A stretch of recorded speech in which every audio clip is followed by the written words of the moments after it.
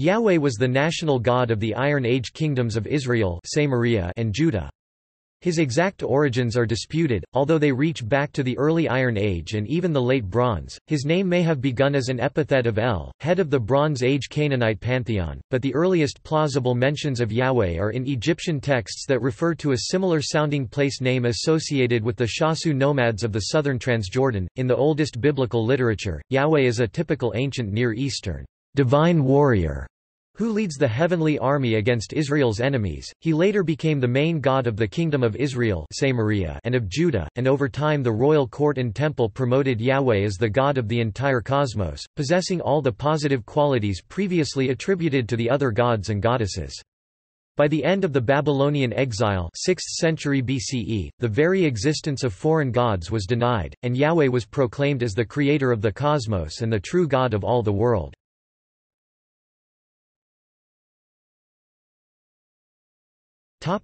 Bronze Age origins. There is almost no agreement on the origins and meaning of Yahweh's name, it is not attested other than among the Israelites, and seems not to have any reasonable etymology or I am that I am. The explanation presented in Exodus chapter 3 verse 14, appears to be a late theological gloss invented to explain Yahweh's name at a time when the meaning had been lost. The Israelites were originally Canaanites, but Yahweh does not appear to have been a Canaanite god. The head of the Canaanite pantheon was El, and one theory holds that the word Yahweh is based on the Hebrew root hyh, hwh, meaning, cause to exist, as a shortened form of the phrase El du Yahweh Sabaoth, Phoenician, El who creates the hosts, meaning the heavenly host accompanying El as he marched beside the earthly armies of Israel.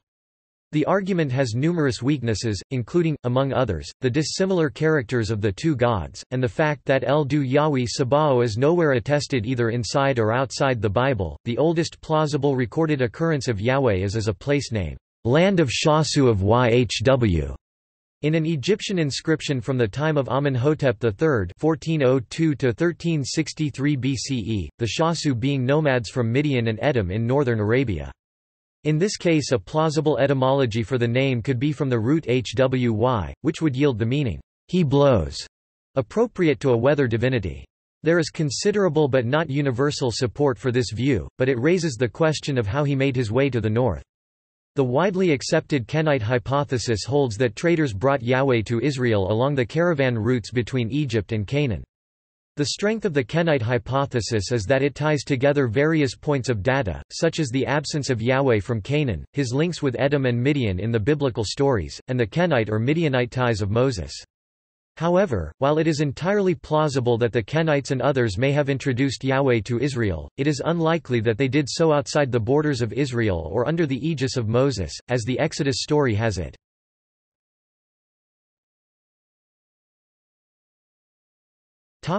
Iron Age I 1200 to 930 BCE, El, Yahweh, and the origins of Israel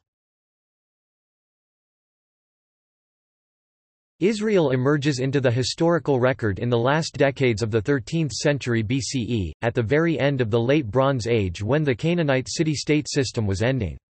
The milieu from which Israelite religion emerged was accordingly Canaanite. El, the kind, the compassionate, the creator of creatures, was the chief of the Canaanite gods, and he, not Yahweh, was the original God of Israel. The word, Israel, is based on the name El rather than Yahweh. He lived in a tent on a mountain from whose base originated all the fresh waters of the world, with the goddess Asherah as his consort. This pair made up the top tier of the Canaanite pantheon, the second tier was made up of their children, the seventy sons of Athirat, a variant of the name Asherah. Prominent in this group was Baal, who had his home on Mount Zaphon. Over time, Baal became the dominant Canaanite deity, so that El became the executive power and Baal the military power in the cosmos. Baal's sphere was the thunderstorm with its life-giving rains, so that he was also a fertility god, although not quite the fertility god. Below the 72nd tier gods was a third tier made up of comparatively minor craftsmen and trader deities, with a fourth and final tier of divine messengers and the like. El and his sons made up the assembly of the gods, each member of which had a human nation under his care, and a textual variant of Deuteronomy chapter 32 verses 8–9 describes El dividing the nations of the world among his sons, with Yahweh receiving Israel. When the Most High Elyon gave to the nations their inheritance, when he separated humanity, he fixed the boundaries of the peoples according to the number of divine beings, for Yahweh's portion is his people, Jacob his allotted heritage. The Israelites initially worshipped Yahweh alongside a variety of Canaanite gods and goddesses, including El, Asherah and Baal. In the period of the Judges and the first half of the monarchy, El and Yahweh became conflated in a process of religious syncretism. As a result, El Hebrew, El became a generic term meaning, God, as opposed to the name of a worshipped deity, and epithets such as El Shaddai came to be applied to Yahweh alone, diminishing the worship of El and strengthening the position of Yahweh. Features of Baal, El and Asherah were absorbed into the Yahweh religion, Asherah possibly becoming embodied in the feminine aspects of the Shekinah or divine presence, and Baal's nature as a storm and weather god becoming assimilated into Yahweh's own identification with the storm. In the next stage the Yahweh religion separated itself from its Canaanite heritage, first by rejecting Baal worship in the 9th century, then through the 8th to 6th centuries with prophetic condemnation of Baal, the Asherim, sun worship, worship on the high places, Practices pertaining to the dead, and other matters, in the earliest literature such as the Song of the Sea Exodus chapter 15 verses 1–18, celebrating Yahweh's victory over Egypt at the Exodus, Yahweh is a warrior for his people, a storm god typical of ancient Near Eastern myths, marching out from a region to the south or southeast of Israel with the heavenly host of stars and planets that make up his army. Israel's battles are Yahweh's battles, Israel's victories are his victories, and while other peoples have other gods, Israel's God is Yahweh, who will procure a fertile resting place for them. There is none like God, O Jeshurun i.e., Israel who rides through the heavens to your help. Less than pre greater than slash pre greater than dot dot dot he subdues the ancient gods, shatters the forces of old less than pre greater than slash pre greater than dot dot dot so Israel lives in safety, untroubled as Jacob's abode. Your enemies shall come fawning to you, and you shall tread on their backs. Deuteronomy chapter 33 verses 26 to 29. Topic: Iron Age 2 1000 to 586 BCE Yahweh is God of Israel. Iron Age Yahweh was the national god of the kingdoms of Israel and Judah, and appears to have been worshipped only in these two kingdoms. This was unusual in the ancient Near East but not unknown. The god Ashur, for example, was worshipped only by the Assyrians. After the 9th century BCE, the tribes and chiefdoms of Iron Age I were replaced by ethnic nation states Israel, Judah, Moab, Ammon, and others, each with its national god, and all more or less equal. Thus Chemosh was the god of the Moabites, Milcom the god of the Ammonites, Qaus the god of the Edomites, and Yahweh the God of Israel. No, God of Judah, is mentioned anywhere in the Bible. In each kingdom the king was also the head of the national religion and thus the viceroy on earth of the national god. In Jerusalem this was reflected each year when the king presided over a ceremony at which Yahweh was enthroned in the temple. The center of Yahweh's worship lay in three great annual festivals coinciding with major events in rural life, Passover with the birthing of lambs, Shavuot with the cereal harvest, and Sukkot with the fruit harvest. These probably predated the arrival of the Yahweh religion, but they became linked to events in the national mythos of Israel, Passover with the exodus from Egypt, Shavuot with the law-giving at Sinai, and Sukkot with the wilderness wanderings. The festivals thus celebrated Yahweh's salvation of Israel and Israel's status as his holy people, although the earlier agricultural meaning was not entirely lost. His worship presumably involved sacrifice, but many scholars have concluded that the rituals detailed in Leviticus chapters 1 to 16, with their stress on purity and atonement, were introduced only after the Babylonian exile, and that in reality any head of a family was able to offer sacrifice as occasion demanded. A number of scholars have also drawn the conclusion that infant sacrifice, whether to the underworld deity Molech or to Yahweh himself, was a part of Israelite, Judahite religion until the reforms of King Josiah in the late 7th century BCE. Sacrifice was presumably complemented by the singing or recital of psalms, but again the details are scant. Prayer played little role in official worship. The Hebrew Bible gives the impression that the Jerusalem temple was always meant to be the central or even sole temple of Yahweh, but this was not the case. The earliest known Israelite place of worship is a 12th century open air altar in the hills of Samaria featuring a bronze bull reminiscent of Canaanite bull El. El in the form of a bull, and the archaeological remains of further temples have been found at Dan on Israel's northern border and at Arad in the Negev and Beersheba, both in the territory of Judah. Shiloh, Bethel, Gilgal, Mizpah, Ramah and Dan were also major sites for festivals, sacrifices, the making of vows, private rituals, and the adjudication of legal disputes. Yahweh worship was famously aniconic, meaning that the god was not depicted by a statue or other image. This is not to say that he was not represented in some symbolic form, and early Israelite worship probably focused on standing stones, but according to the biblical texts the temple in Jerusalem featured Yahweh's throne in the form of two cherubim, their inner wings forming the seat and a box the Ark of the Covenant as a footstool, while the throne itself was empty. No satisfactory explanation of Israelite aniconism has been advanced, and a number of recent scholars have argued that Yahweh was in fact represented prior to the reforms of Hezekiah and Josiah late in the monarchic period. To quote one recent study, a a n early aniconism, de facto or otherwise, is purely a projection of the post-exilic imagination. MacDonald, 2007.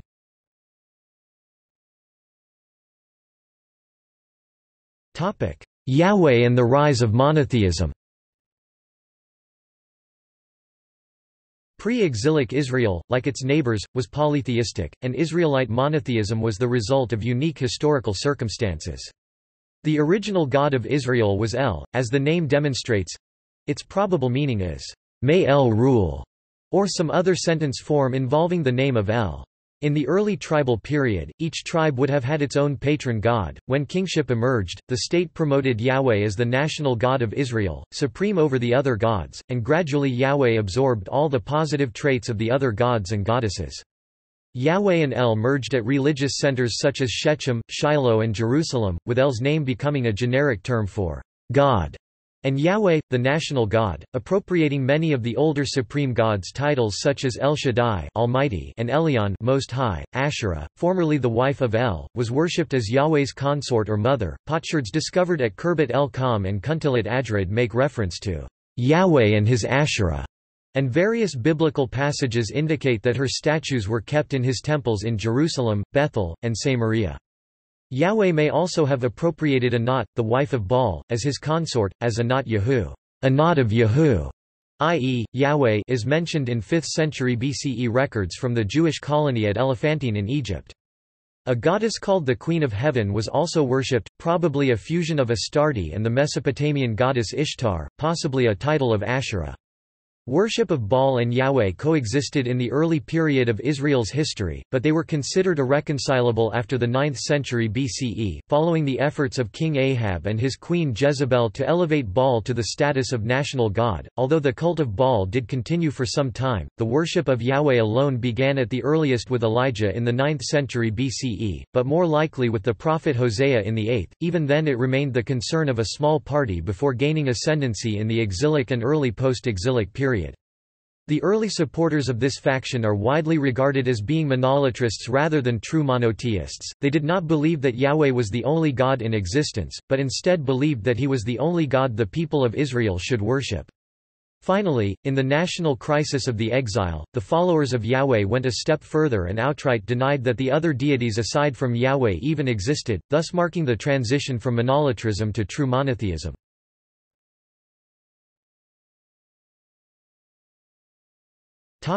Second Temple Judaism In 539 BCE Babylon itself fell to the Persian conqueror Cyrus, and in 538 BCE the exiles were permitted to return to Yehud Medinata, as the Persian province of Judah was known. The temple is commonly said to have been rebuilt in the period 520 to 515 BCE, but it seems probable that this is an artificial date chosen so that 70 years could be said to have passed between the destruction and the rebuilding, fulfilling a prophecy of Jeremiah. In recent decades, it has become increasingly common among scholars to assume that much of the Hebrew Bible was assembled, revised, and edited in the 5th century BCE to reflect the realities and challenges of the Persian era. The Ritternes had a particular interest in the history of Israel, the written Torah the books of Genesis, Exodus, Leviticus, Numbers and Deuteronomy, for example, may have existed in various forms during the monarchy the period of the kingdoms of Israel and Judah, but it was in the Second Temple that it was edited and revised into something like its current form, and the Chronicles, a new history written at this time, reflects the concerns of the Persian Yehud in its almost exclusive focus on Judah and the Temple. Prophetic works were also of particular interest to the Persian-era authors, with some works being composed at this time the last ten chapters of Isaiah and the books of Haggai, Zechariah, Malachi and perhaps Joel and the older prophets edited and reinterpreted. The corpus of wisdom books saw the composition of Job, parts of Proverbs, and possibly Ecclesiastes, while the Book of Psalms was possibly given its modern shape and division into five parts at this time although the collection continued to be revised and expanded well into Hellenistic and even Roman times. Second Temple Judaism was centered not on synagogues, which began to appear only in the 3rd century BCE, and the reading and study of Scripture, but on the temple itself, and on a cycle of continual blood sacrifice meaning the sacrifice of live animals. Torah, or ritual law, was also important, and the temple priests were responsible for teaching it, but the concept of scripture developed only slowly. While the written Torah the Pentateuch and the prophets were accepted as authoritative by the 1st century CE, beyond this core the different Jewish groups continued to accept different groups of books as authoritative. During the Second Temple period, speaking the name of Yahweh in public became regarded as taboo. When reading from the scriptures, Jews began to substitute the divine name with the word Adonai, Adonai meaning, Lord. The high priest was permitted to speak the name once in the temple during the Day of Atonement, but at no other time and in no other place. During the Hellenistic period, the scriptures were translated into Greek by the Jews of the Egyptian diaspora. Greek translations of the Hebrew scriptures render both the Tetragrammaton and Adonai as Kyrios, Kyrios meaning, the Lord.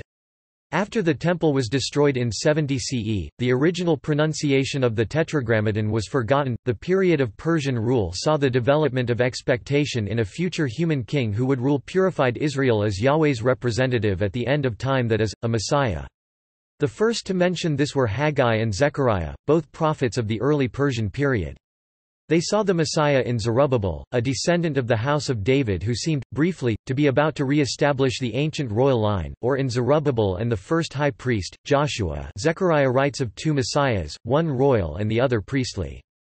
These early hopes were dashed Zerubbabel disappeared from the historical record, although the high priests continued to be descended from Joshua, and thereafter there are merely general references to a Messiah of meaning descended from David. From these ideas, Christianity, Rabbinic Judaism, and Islam would later emerge.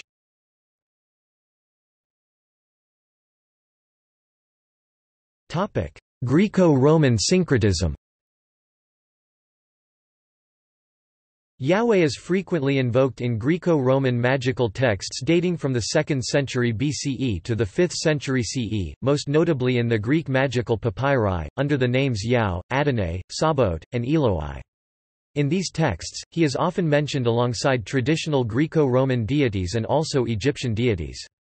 The archangels Michael, Gabriel, Raphael, and Uriel and Jewish cultural heroes such as Abraham, Jacob, and Moses are also invoked frequently as well. The frequent occurrence of Yahweh's name is probably due to Greek and Roman folk magicians seeking to make their spells more powerful through the invocation of a prestigious foreign deity. Tacitus, John the Lydian, and Cornelius Labeo all identify Yahweh with the Greek god Dionysus. Jews themselves frequently used symbols that were also associated with Dionysus such as kylixes, amphorae, leaves of ivy, and clusters of grapes. In his Quaestiones Convivales, the Greek writer Plutarch of Chaeronea writes that the Jews hail their god with cries of euoi and sabi, phrases associated with the worship of Dionysus. According to Sean M. McDonough, Greek speakers may have confused Aramaic words such as Sabbath, Alleluia, or even possibly some variant of the name Yahweh itself for more familiar terms associated with Dionysus.